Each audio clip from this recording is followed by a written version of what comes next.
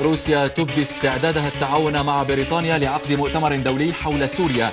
وتؤكد أن الاتصالات مع الأمريكيين مستمرة لإقرار جدول أعماله.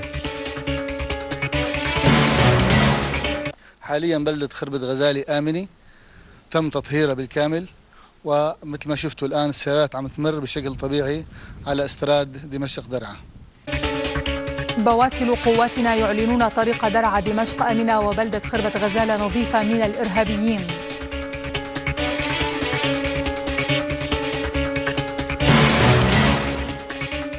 أكثر من أربعين قتيلا ومائة جريح ضحايا التفجيرات التي هزت مدينة الريحانية في تركيا.